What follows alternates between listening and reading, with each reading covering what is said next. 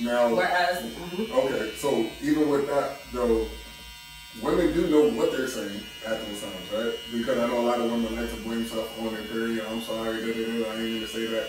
But for me, I still feel like it'd be true for them. Like, no, they, they, it's not that we don't mean to say it. We don't mean to say it like that. Okay, Because it's not what you say; it's It's how you say it, okay, right? okay. So we do mean what we say, but we don't mean it in that manner of I don't, you know, it's in disrespectful, try to play you type of way. It's just yo, this is how I'm feeling. Okay, good, good. But my period's here, so you're gonna get the pains of these cramps Okay. along with what I'm saying. Yeah, like, I get you. I get you on that one. so I don't think, like I said, I think understanding her cycle is very important when trying okay, so can you tell us how can we understand the cycle? What is the communication and not being afraid to talk to your woman about that with her. But are some women able to open up? Because some women be like, I want to talk to you about that. Have you ever asked the questions? I